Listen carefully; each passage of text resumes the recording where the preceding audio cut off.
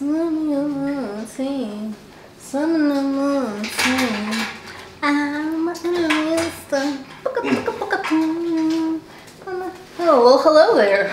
Baby, baby. Didn't see you coming. Welcome to my humble abode. You know Okay, I see, I see. Ting, ting.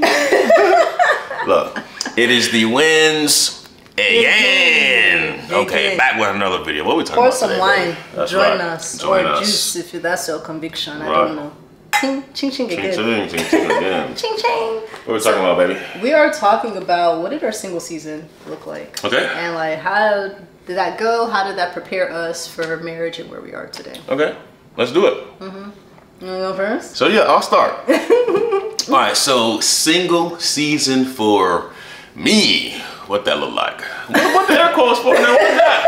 What's that going on now? the air quotes. What is that? Because single.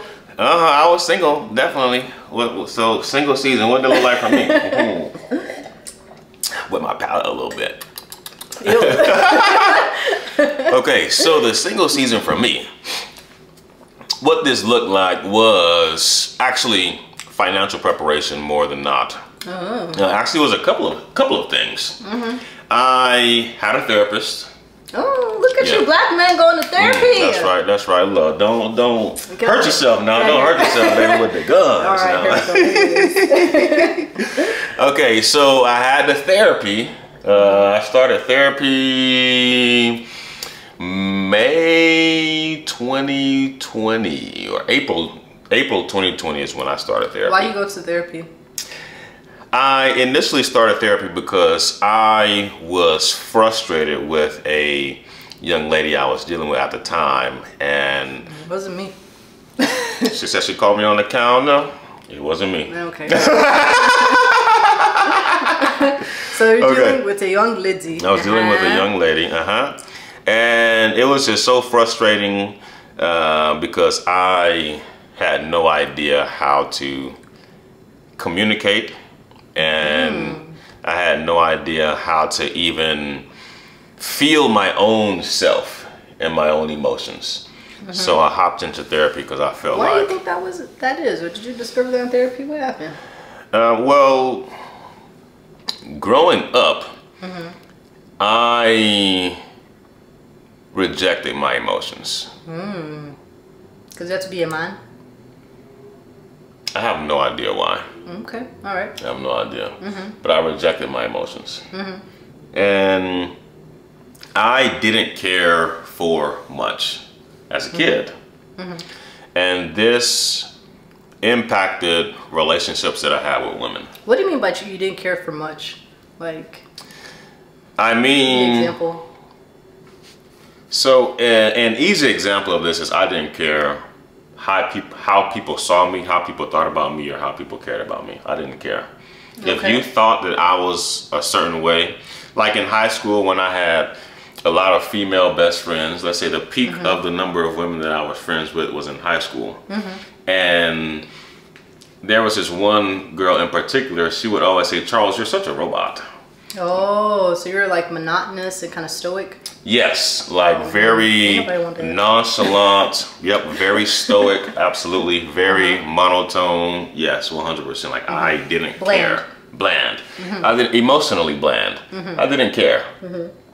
Uh, and this translated into not only relationships, like platonic relationships, but it translated to romantic relationships as well, and uh, or intimate relationships also. And in this, while I was dating this girl, it was just it had built up to a high where I was just so frustrated. I had no idea what to do. I had no idea where to turn to.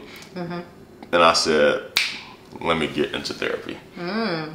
Mm-hmm. So, so what did that um, help you at the end of the day? Like, how did going to therapy, dealing with your emotions, how did that impact your relationships moving forward?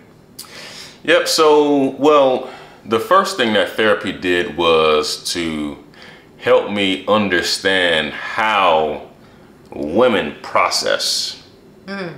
emotions mm-hmm. and how women process understanding, like how women understand and how they process life, let's mm-hmm. say. Mm-hmm. and which allowed me to navigate who I was dealing with at the time. Okay. And ultimately, the greatest benefit that I received from therapy is therapy um, helped me to understand that care is a verb. Mm. Mm-hmm. And you have to show care, mm-hmm. right? Uh, otherwise, you will feel it, but the other person might not. Mm. And that will create a disconnect mm-hmm. in the relationship. It's like telling someone you love them, but then showing someone that you love them. Right. Right. Mm-hmm. Yeah. So I never understood how to show care. Mm-hmm. Right. Actively. Mm-hmm. mm-hmm. I was just always. I'm a man, I'm giving you my time, which is sure, that's how I show care, but there are other ways that you can show care as well. Mm-hmm. I'm giving you my time, what little money I had at the time, I'm also giving you this little money. Mm-hmm. This means that I care. However, she didn't receive it like that. Mm. So I learned through therapy that care is an action. Mm-hmm. It's a verb, it's an action word. Yeah. Right, and you have to actually show it. Mm-hmm. So this was a primary benefit that I received out of therapy, helping me understand how women process and understand, and that care is an action word. So what did you start doing differently in that relationship and then moving forward? Well, that relationship ended well, I mean, just your relationships in general. Like, what did you do differently that you weren't doing before? Yeah, so I began showing how I care for you. So, and how that shows up is hearing you active listening. Okay. You say, hey, you know, I like flowers. Mm-hmm. So now I buy flowers. Okay. Hey, I like forehead kisses, so I That's kiss I forehead. That's what I told him. right, right, exactly. I told him literally like the first couple of weeks we were dating. Um, that's what I liked. Mm-hmm. I liked, you know, the PDAs and forehead kisses. Mm-hmm, mm-hmm. That's right, baby. so good love. Yeah, and you can keep going. Okay. And the hey, I like this or hey, I like that, right? And, and paying attention and picking up on that. Mm-hmm. Um, that and actually like following through on those things that you like, mm-hmm. presenting them to you. Right? You did real well our first Showing week. You that. I said that I like Moscato, mm-hmm. and you know, you got mm-hmm. me your favorite Moscato. Mm-hmm. Yeah. You heard that I like flowers, so you got me flowers. I appreciated that. Yeah, hundred percent, baby, hundred percent, of course. You got brownie points with me. Definitely, because you know, he listened you know. and he paid attention. Uh, uh. and I was like, hmm, okay. Mm-hmm. So I had to learn how to show that I care. Okay. And that was a primary benefit from mm-hmm. therapy. Mm-hmm. Uh, in addition to therapy, how I prepared for marriage in my single season was finances. Mm-hmm. I actually, before finances, I do want to talk about emotions. So I prepared care, which is a form of emotion, but my internal locus of control, let's say, how I handle emotions and how I receive emotions from, you know, who I'm dating, mm-hmm. right? Uh, so, you know, we have had, you know, intimate conversations and conversations where you're expressing how you feel to me. And in the past, let's say five years ago, I would have said, oh no, but this. Oh no, but that. Mm. Oh no, but but this. So you would invalidate, unknowingly invalidate someone's feelings. Yeah. Uh, so that would be the impact. Mm-hmm. However, I would attempt to unknowingly control how you feel because mm-hmm. I would oh, sense. you're trying to be a man because this is how men think. Men like to fix the problem. Yeah. And women just want to be heard. Yeah. You know, yeah. that's something that a lot of people don't understand about masculinity and femininity. It's like when a woman is voicing how she feels, she's not looking for a solution. Mm-hmm. You've done this even in our marriage mm-hmm. once, and I'm like, babe, yeah. babe, babe, babe, babe, like, like yeah, let me tell y'all, like, I have, I have, I have, like I had, I had a whole meltdown. This is like a few weeks ago mm-hmm. um, with a hairstylist, right? And it was so traumatizing and I'm telling Charles about like what I just experienced. Like I cried in the car, right? And he's just like trying to find a solution. He's like, okay, but why didn't you do this? Okay, but you should have done this. Okay, but she didn't do this. Okay, but you didn't do your research. And I'm like, I just said, okay, okay, never mind. I said, never mind. And he's just like, whoa, whoa, whoa, whoa. And I'm just like, you're not listening to me. it's like, I'm not looking for a solution. This is the wrong timing. I said, I'm looking for empathy and consolation, you know, or is it console? Right? That's that's the word, right? Sure. Yep. Okay. Mm-hmm.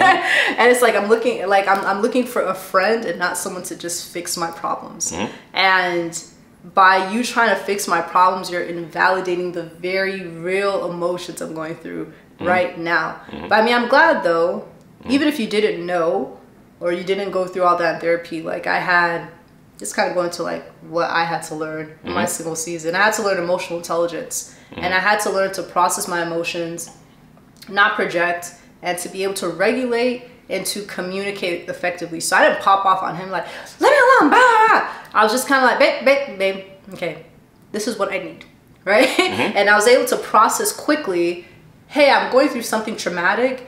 I am not in the place to hear a lecture right now this is what I need. This is the best way that you can support me right now. I don't need an answer. I just need comfort. And he's like, oh, okay. It sucks that she did that. And I'm just like,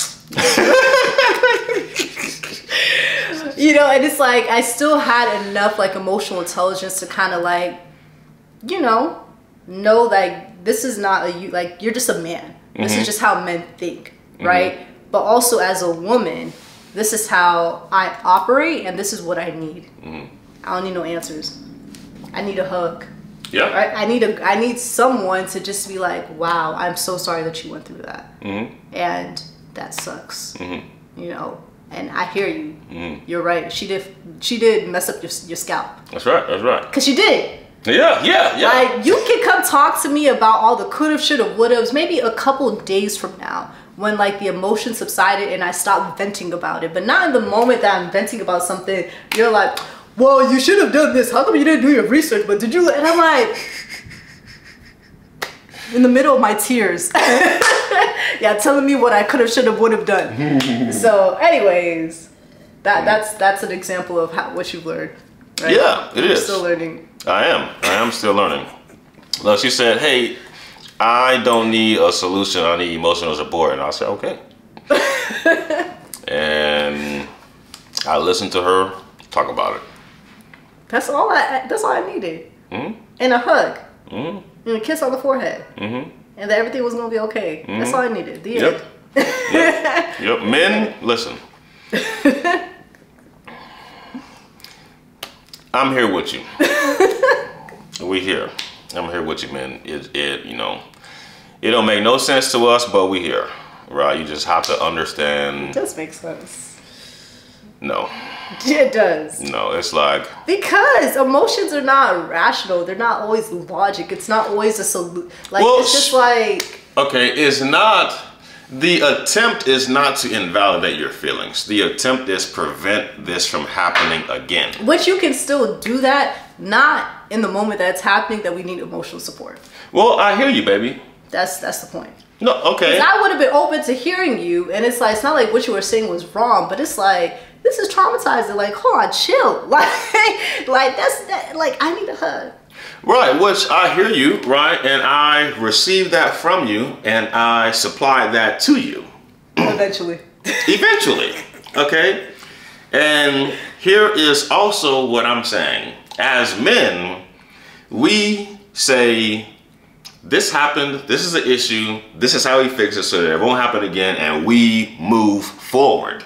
That's how we handle situations. Whatever. So when I say, you know, I'm here with the men, but men, we have to be here with our women.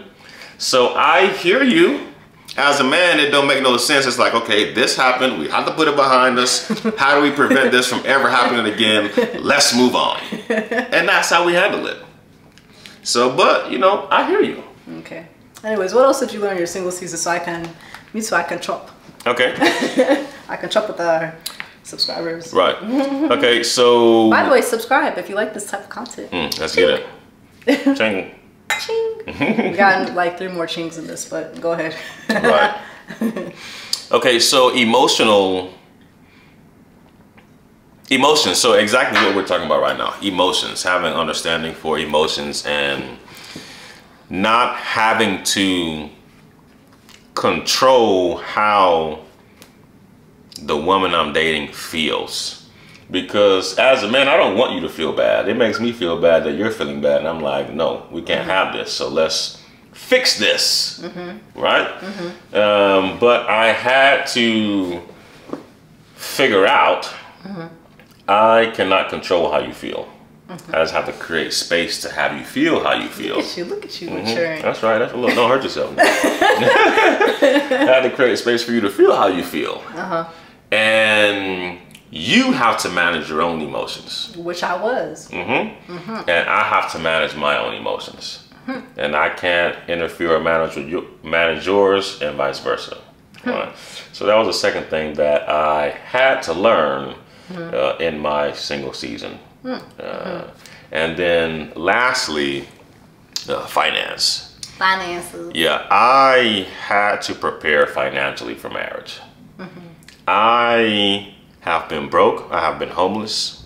I have had. in Jesus' name. In Jesus' name. I. Richly, uh, Lord. Right, right, right. Rich in the Spirit, right. the, the Holy Spirit has provided me with wealth and, and uh, prosperity. uh, so I have been broke. I have been homeless. I have had a period in my life where I had $25 a week to spend on food. and I had to, you know, prepare financially because the last thing that I was going to have for myself is brokenness mm-hmm. in marriage.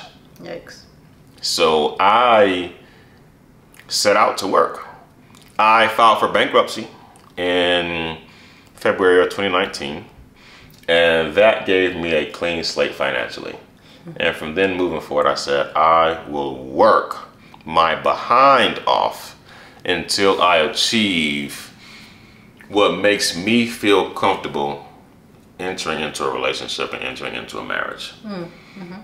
And at the time, for me, that was $85,000 in cash mm -hmm. um, that I had. So look at the camera say it's.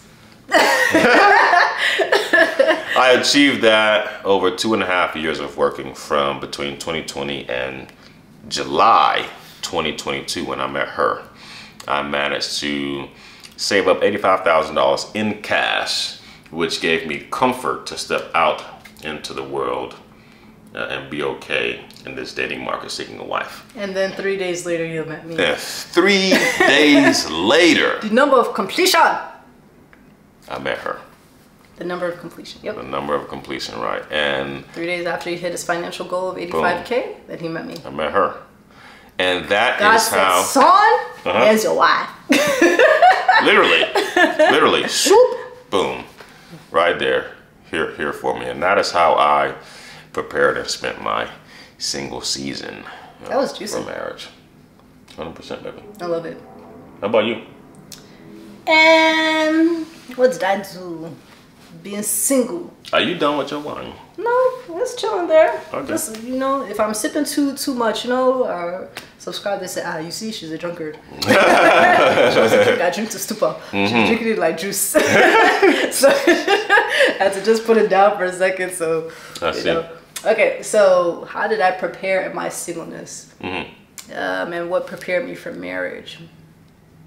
Well, there's a lot of stuff that I did in my singleness that didn't mm-hmm. necessarily prepare me for marriage. So let me focus on what prepared, what actually prepared me for marriage. Because I can sit here and talk about, oh, I moved and I did this and I started ministries and I wrote a book. All that stuff really is more of a culmination of I discovered my purpose in my singleness. Mm-hmm. And I do think that's super important mm-hmm. to know what you're called to do in life and have a direction for your life before you get married. Mm-hmm. Because if you find that out in marriage and then you realize that you and your husband are not equal yokes, mm-hmm. then what? You want to do this one, he wants to do this one. Mm-hmm. And that creates problems. Yes, so mm-hmm. I think it's really important for anyone um, to have a sense of what they're called to do and their purpose in their mm-hmm. singleness. Mm-hmm. You know, single on purpose roll credits. not to say that you have to have everything figured out, but you should kind of know the direction you're going in. And in my singleness, I discovered one, I'm entrepreneurial, right? I know I'm going to be a businesswoman one day. Um, I know I'm going to be a ministry, right? I'd started two ministries. I know I am going to be serving the pe- serving the people of the Lord, not just business and you know for the marketplace for everyone but also i was going to be serving believers. Mm-hmm. um, i knew that maybe not necessarily in a physical church in a physical location but i did know i was called to ministry. And i also knew i was called to family right? So i also knew i wanted to have a family. Not everybody wants a family not everybody wants to be married not everyone wants to have kids but i knew that that was a strong desire um, i had prepared even for parenthood before I even had a man. I was single for six years, okay? I did not have no man. But I was sitting here, I had a whole Pinterest board for parenting. I would go to Barnes and Nobles. I would read books about parenting. I learned about gentle parenting and conscious parenting. Um, you know, um, mm-hmm. I learned about those things. What else did I do in my singleness? Okay, so that was like my purpose. Mm-hmm. Um, another big thing that prepared me for marriage in my singleness was developing godly femininity. So if you all don't know, I'm a femininity coach um, Godly Femme, shameless plug, okay? and um, I coach spirit filled curse breakers, well, spirit filled women to level up through the art of godly femininity. So um, I went through a whole season that I strictly just developed my femininity. The Lord helped me to develop things like my beauty, right? Mm-hmm. And I know that one seems vain, and people mm-hmm. don't want to talk about that. But, Lord, you are beautiful. Okay. Mm-hmm. Yeah. okay. so you see why I'm here. Okay. well, my beauty is what attracted you. Well, 100%. but my character is what kept you. Mm, of course, baby. Exactly. Mm-hmm. So um, that, and when I say beauty, it's not. It's like just everything about me, like the Lord helped me to enhance uh, my character. A huge thing in godly femininity that was important for me to develop was emotional intelligence. I was not very emotionally intelligent before 2019. Oh yeah, no, no, no, no, no. I think it was like after after 2019, like the beginning of 2020 that's when I started therapy. Um, and I was like, oh, whoa, I got issues. And I got to actually work it out. For a long time, I think I was, well, no, I just didn't know. I, I think I just didn't know. I was just doing stuff for the kingdom. I had friends, but I think there was nothing to really challenge me um, to show me, hey, you got some issues, right?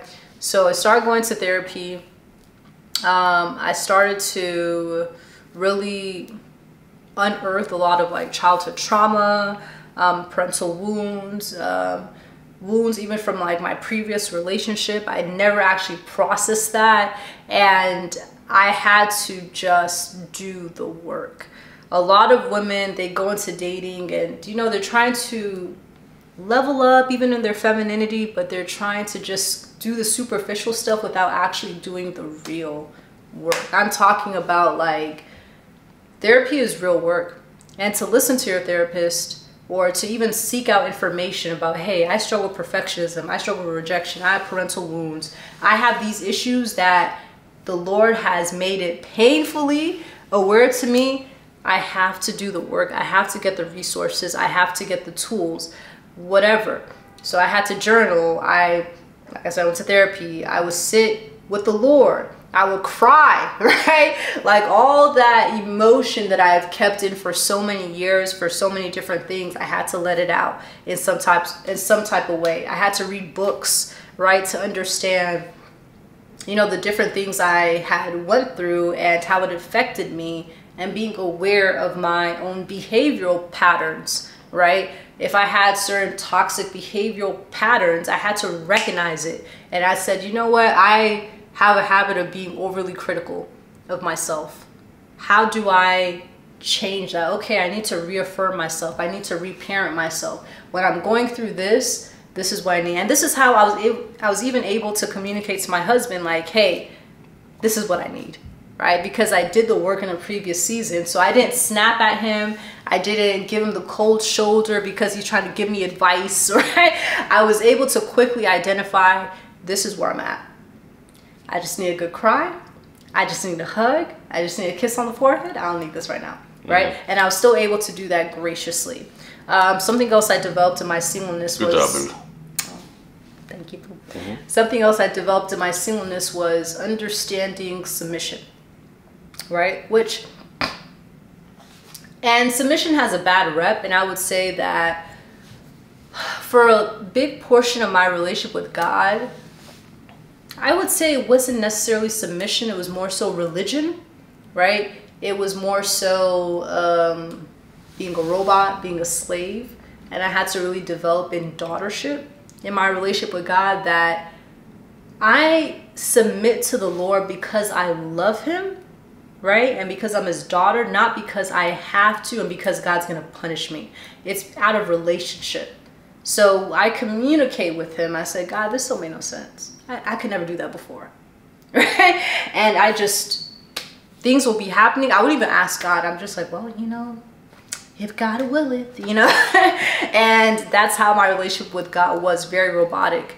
So when I got with him, you know, I was able to like walk with the Lord through everything. Go back to Him. I'm like, mm, okay. You know, Charles is cool, but what about this?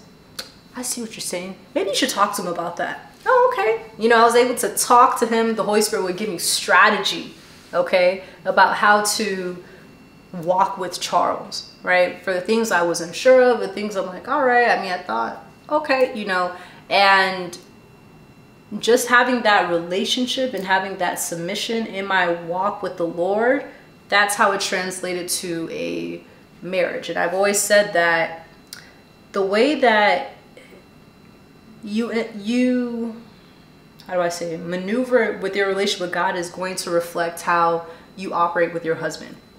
Right? So 100%. if you don't know how to submit in your relationship with God, if you don't know how to walk and collaborate with the Lord, and to submit to his headship, then you're not going to be able to do that with your husband. I've always been a firm believer in that. So those, here we go. so I would say those are some ways that, you know, I kind of, those are some things that I did in my singleness that prepared me for marriage with you. Good job, baby. You did well. Thanks, Boo. so did you. Thank you. so did you nice little landing space, you know? Yep, 100%. Because I don't know, it, you know, the way you talking, how you were five years ago, I don't know. Shush. I don't know, baby. Look, I was, mm, mm. I don't know if I could be no stoic man, you know. Part of actually why I super liked him on Upward mm-hmm. was because I told you that last pick that you had when you were in a onesie. Yeah, my onesie. Yeah, and I said, oh, he doesn't take himself too seriously. Mm-hmm because I was kind of concerned at first when like I first started dating Charles. I'm like, is he too serious? You know what I'm saying? But mm-hmm. over like you know he was able to like let himself go. He wasn't too stuck. He was still affectionate. He was a human being. Like he had a heart. You know, he had a heart, and that that was something that I'm like, okay, you know, this is gonna work. It's gonna work. Yep, hundred percent. Mm-hmm. Any closing remarks? Um, isn't she beautiful? Nah. Aren't you? Aren't you a cutie? Mm. okay. Well, look. I guess that's it. Go out, be prosperous. Make sure y'all like this video. Mm-hmm. Y'all leave a comment if y'all like this, if y'all like us, any other videos that y'all want us to um well, to record. Like and make sure you subscribe to our channel mm-hmm. and share this with a friend if you think it was helpful. Mm-hmm. All right. Deuces. Bye. Peace.